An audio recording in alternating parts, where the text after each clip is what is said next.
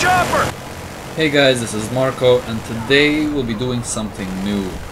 I want to start with a new series, like a tutorial series, where we do like five questions or five weapons that we talk about.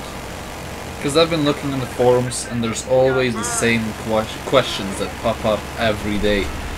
So that's why I wanted to start this. I'm not sure yet if we'll be doing this weekly or monthly, but anyway, let's just start the video. Look how my mind plays. Little bit of fame, little bit of hate, little bit of change. Watch the craze, keep it sane, don't fade away. Look how my mind plays. Little bit of fame, little bit of hate, little bit of change. Watch the craze, keep it sane, don't fade away. Look how my mind plays. So all of you probably already know the use of zip lines.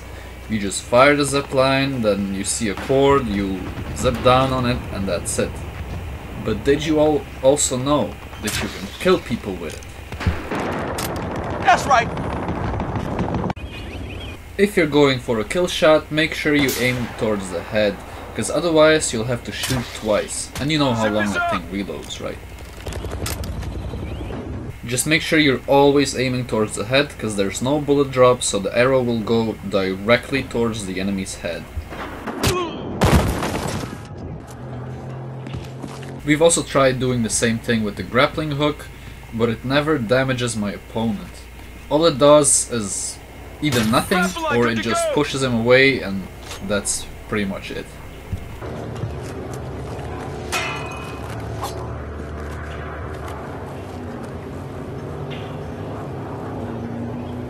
Grapple out!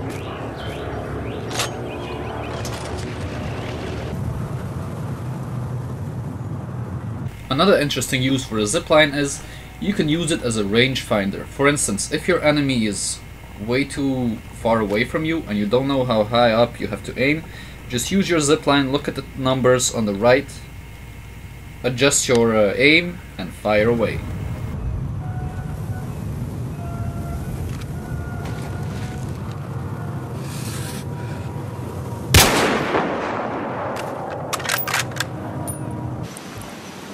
In this next part, let's talk about how to zero your sniper. Because many of you have seen the numbers below your reticle, but nobody actually knows what they're for. So I'm gonna explain you how to use them and why you should use them. Now just imagine you don't have zipline with you, but you've spotted an enemy far far away. How do you know where to aim and how do you know how to headshot him properly? Well, first of all, look at the flags. The nearest flag next to your enemy should indicate how far he is. Try to recognize the distance. So if you didn't zero your sniper, you have to aim like way above the enemy's head and it's kind of hard as you can see right here. So that's why you need to zero the sniper rifle. Basically zeroing relies on how far your target is away from you. So if he's like 100 meter or 200 meters away from you, you just have to look on the lines. The further away, the lower the line it is. The, uh, the line itself should align with his head if you want to go for a headshot. But if you want to make it easier, you gotta zero your sniper rifle. Now how do you start zeroing a sniper rifle? Basically, you see these numbers right below. We know our target is at fo almost 400 meters away from us, so we put the zero at 400 meters. This means that if your target is 400 meters away from you and you aim directly at his head, that will be a headshot.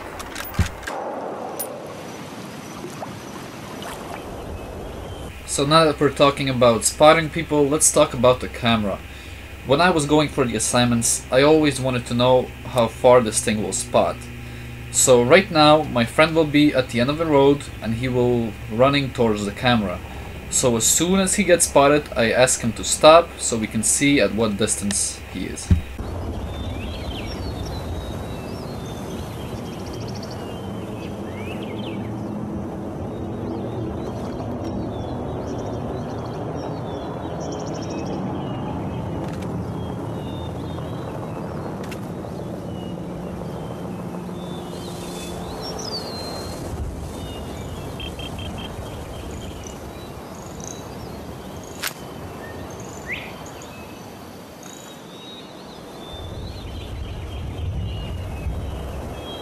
So as you can see here, it's approximately 70 meters So just in case, let's let's try that again.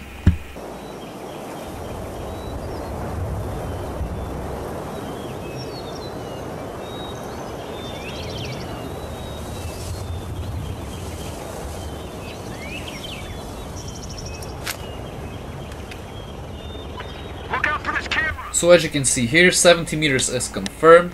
So everyone in front of your camera up to 70 meters will be spotted.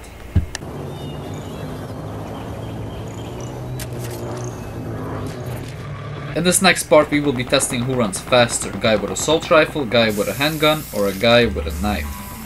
So I've heard many rumors about this, I never thought it would be true, but I really wanted to see who would run faster.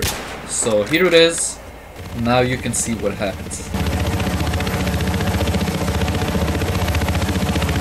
So as you can see here, a pistol and a knife can outrun an assault rifle. So now you know. And as a final part of this video, I wanted to see what Sabotage can do. Sabotage is a gadget only for mechanic.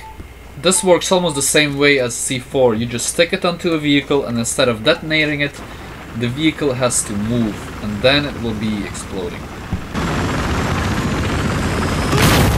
One more down!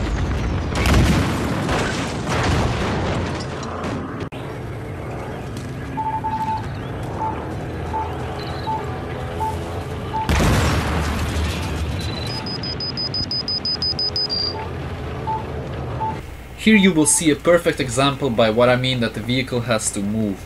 Because the enemy can sit in, in the vehicle as long as he wants, but as soon as it moves, it explodes. Took out armed suspect!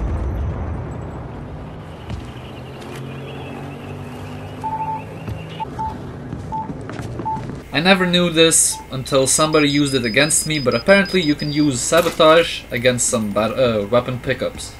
Just as you can see right now.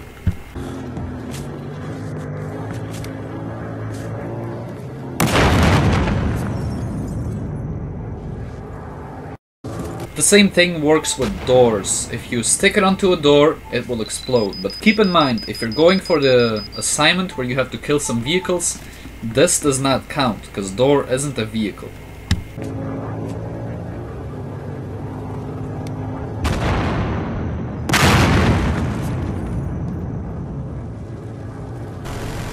This is it for today guys, I hope you enjoyed the video, make sure you like and subscribe to stay up to date with our upcoming videos, and take care. Look how my mind plays. Little bit of fame, little bit of hate, little bit of change. Watch the craze, keep it sane, don't fade away. Look how my mind plays. Little bit of fame, little bit of hate, little bit of change. Watch the craze keep